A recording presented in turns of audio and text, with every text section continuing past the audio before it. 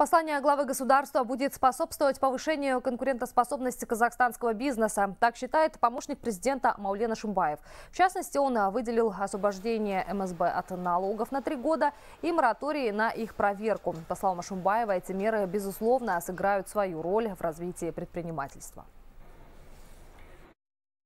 Касым Жомарт в своем послании поднял одну из самых актуальнейших проблем, которые сегодня поднимают предприниматели – кредитование экономики.